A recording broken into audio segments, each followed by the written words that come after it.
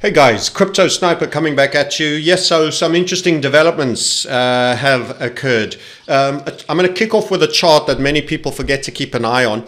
Um, and it was one that we felt uh, initially was going to go to the downside. Uh, and this was the BTC dominance. In other words, the percentage of total crypto market cap that is made up of Bitcoin's market cap. Okay, so that means if Bitcoin has virtually 100 billion goes up 5%, it picks up 5 billion. Even if the others go up 2 or 3%, um, because of their collective scale being less, uh, the dominance of Bitcoin increases. Now, when we saw this structure initially, um, and we first had this quite steep sell off here, and then we had these sort of grinding moves up and steep sell off here. Um, we and we came to around about this point, and then we were moving down. We felt initially that that was probably going to lead to a downside move. It did start to move, but it went very, very slowly. Then had this big, spiky, volatile moment and turned around. That's right, it turned around. I've done the full draw of what we've actually got here um, for my premium guys.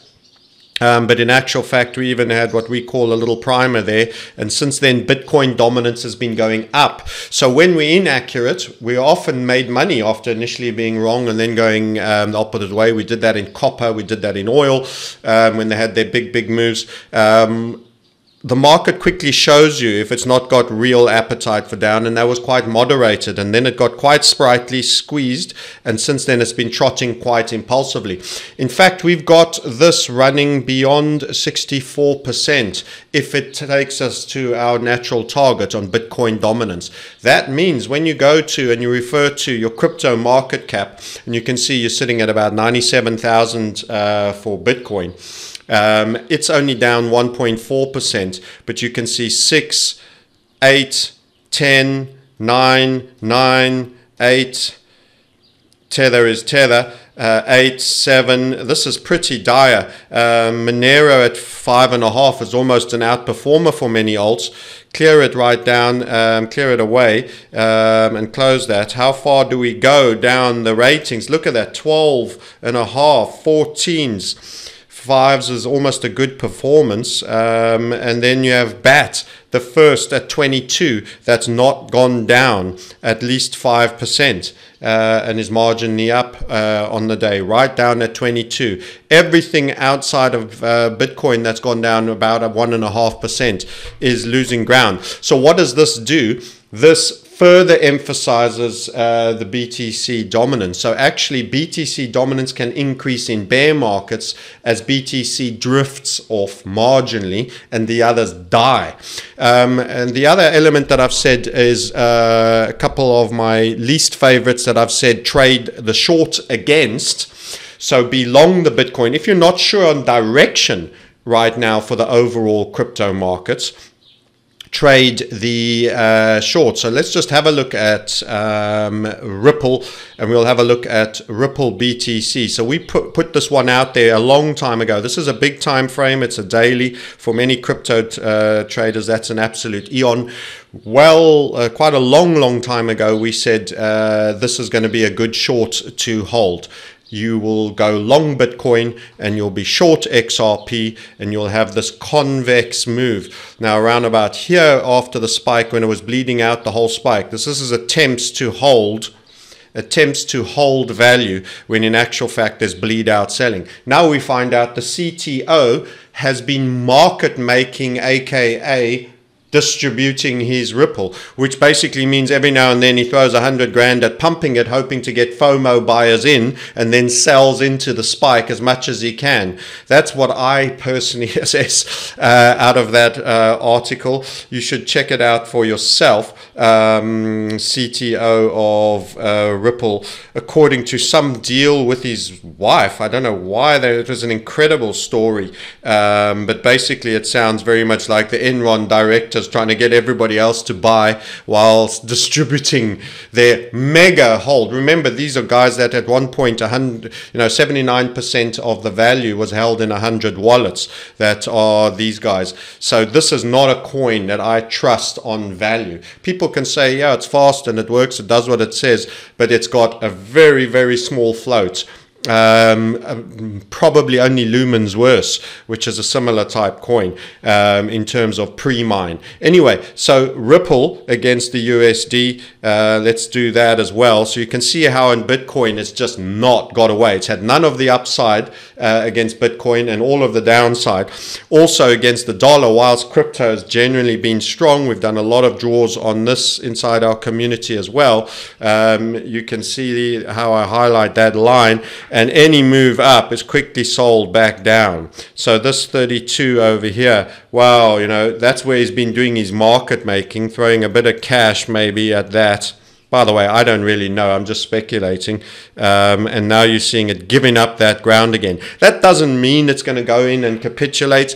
I'm sure they back off their selling when they're at uh, approaching these key levels of significance like the 30 uh, hoping for it to drift up on the general crypto feel good and then dumping it into that. The fact that it's um, usable and fairly quick doesn't mean it has to go, except unless usability is pushed. Uh, and there's lots of interesting things about paying corporates to use it. All these partnerships they announced, they're actually handing out coins. A lot of those partners um, um, are maybe lukewarm committed and dumping the coins while they still have some value. Um, so it smells of a bit disorderly market for valuation. When I jokingly say it's smelling or it might die, I'm not talking about die as it'll absolutely disappear entirely. Uh, I'm just being a little bit provocative, um, but it's certainly in terms of valuation as a trade, it's a short term very big uh, selling across the highs coming across here on Ripple and battling to get away very far. So this is in even in a, in what has been a resurgent short-term bull market. Um, we don't know if we're going back to full-blown bull just yet for sure. You've uh, it's just very unimpressive performance. So you can be crypto neutral Bitcoin long against uh, this one, and this would have stumped up loads of Bitcoin um, from the chart I showed you previously there um, with that convexity. So you would have you could have ridden this from nine even earlier when we first mentioned it, possibly as high as tens, right down to fives. So that means you know you short uh, 10 bitcoins worth uh, of it. You you hold 5 bitcoin in profit already. Uh, short 100 you have 50 um, so it's quite a fall. Um, anyway what else can we talk to you about? Um, we spoke of crypto dominance. We spoke uh, of how I will see that going up. This could see uh, two things. It could see Bitcoin goes up more and the alts are flatlining or drifting only moderately. Um, Bitcoin's percentage growth is higher, or they all go up roughly the same, but because Bitcoin is 100 billion, three or four percent on Bitcoin going up over the course of a couple of weeks is a lot bigger number than on these lesser market caps or it's a, a, a, retracement slightly where it's moderate for Bitcoin. So let's get the Bitcoin chart up. We actually uh, called out um, the possibility. You know, we had our first uh, upside HVF squeeze in the new trend, which gave us the 5K target. Since the 5K target, the rate of increase has slowed down immensely. So this structure gave us the key level of significance across there at 5K. So that was a key level. That was the best part of your move, fast moving breakouts. There was small little fractals that gave a pop and then gave you that high as well, which wasn't a bad move either or on the, those time frames but let's drop it down a little bit shorter time frames and see how we uh, gone since.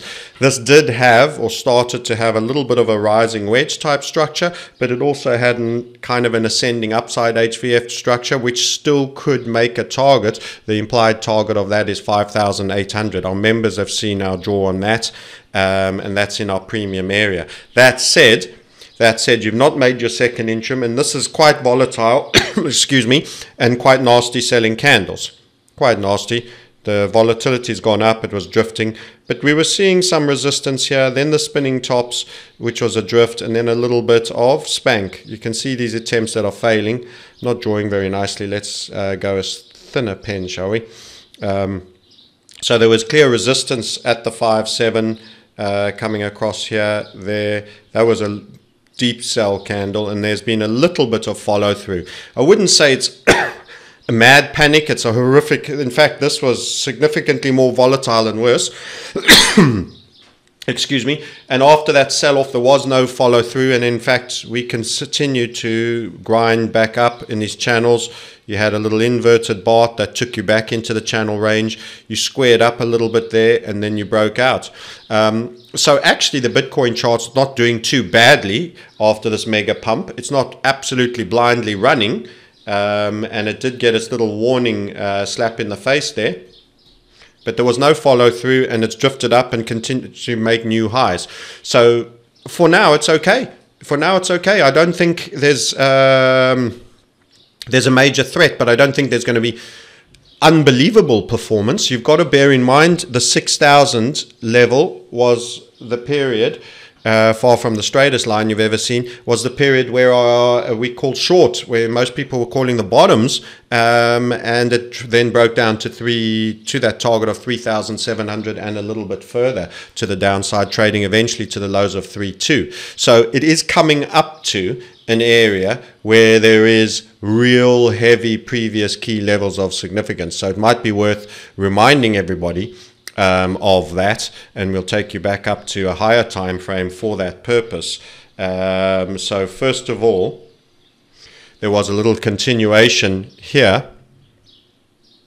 This is off uh, Bitfinex. As I say, um, there's other, you can look at the Binance as well. There was a little continuation there that's given us the 5 6 as well as a key area. So you're running into key levels that you've seen uh, before, and you've had one, two selling wicks in there. Let's reduce that pen size again. Um,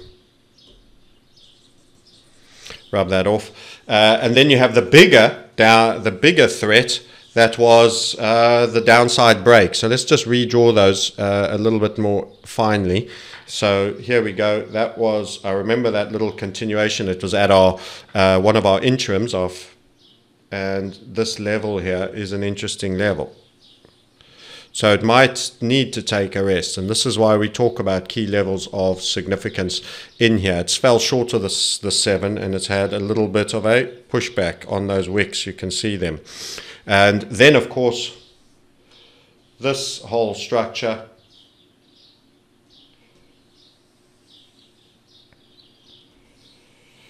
And for some that have just drawn a general grind line through there, or even if you just take a level where there was regular meets, you got from the 6,200, 6,100, and 6,000 level, you were getting regular points of support.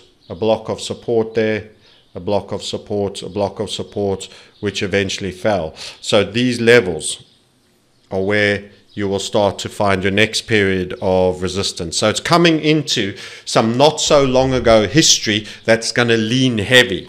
So it wouldn't surprise me if we get a couple of smackdown events. This could pull down maybe a little bit further. And then it needs some form of a wind up process to build some momentum again for Bitcoin to get back above 5,600. And then there'll be a pause. It might get into this range, but I doubt it'll break it in one fine go.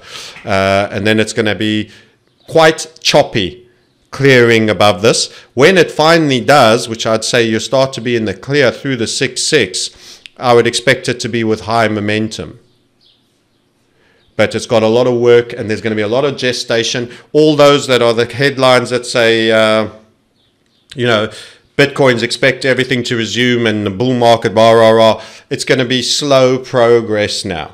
This is slow progress. This just, this is like bringing, pulling the wagon back down the road. Only now it's getting into a mountain and a muddy hill uh, that has to be cleared. But eventually, when it starts to blast through it, and it's got that final clear the hurdle strength near the end, it'll come potentially out with some momentum, and then we'll revisit and rest on that level that it's covered.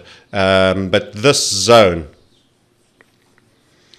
there's two parts to it. There's a little bit of empty space in here, so let's draw it one more time. There's uh, two parts to it. These are going to be resistance. So here, one seam of hard rock to be drilled through, and roughly round here, which but this will start a little earlier. It'll already start getting tricky from here.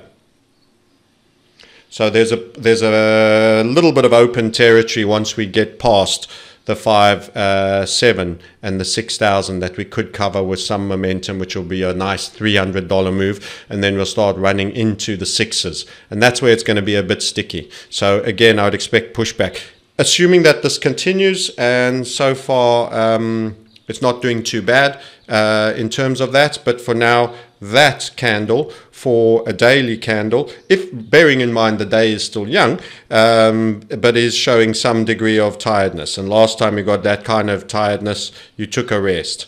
You took rest. You took rest. Potential uh, chance to take rest. And what's going to happen during that period? Bitcoin moderately off 1%, 1.5%, 2 most of them, particularly Ethereum is the other one that is in a nasty structure against Bitcoin. So I don't like the two other big market caps. I think personally, when it comes to Ripple, you know, you've got a bit of a fake market here the bulk of the market cap that's involved in this 12,649 is being held by too few people. So it's kind of like I have a family company um, and I keep 95% of the shares and then I release 5% into the open markets for people to trade and I show up that and bid that 5% to the moon. I make theoretically my 95% worth a small fortune um, with the cash I raised in the listing in my IPO or my ICO, and etc., etc. So those are all paper values. If there's no one to buy it up when you decide to sell that 95%, just by moving a little bit of it, you're going to crash that market. And this is the dilemma, the greed dilemma that the theoretical valuation. Uh, let's try two E's for greed, Francis. Greed dilemma uh, that these guys that do such big um, pre-mines have. They probably have some agreements between them at what rate they'll unload, and they're all hoping for Happy Days Bull. They never got out of enough of it when they were being lauded as the new billionaires, and they still maybe had some lockups in place. Now, now they're going to be underperformers. So I'm not impressed by them. The platform the platform coins I don't feel are, go, are going to do that well either, particularly the older ones like uh, Ethereum. So if we look at this technically, so the number two and number three are going to, and when you add those two together, that's 29 billion currently call it 30 to Bitcoin's 100 billion. So those two are going to probably do less well than Bitcoin. That's my hypothesis and continue to do less well than Bitcoin. This is going to drive the Bitcoin dominance and the platform guys are going to battle a little bit. You've seen EOS has even come down really harder than even Ethereum now um, as well. So overall, I'm not a big fan of the platform coins. Um, I actually think the ones that are close to Bitcoin in time will start to do slightly better.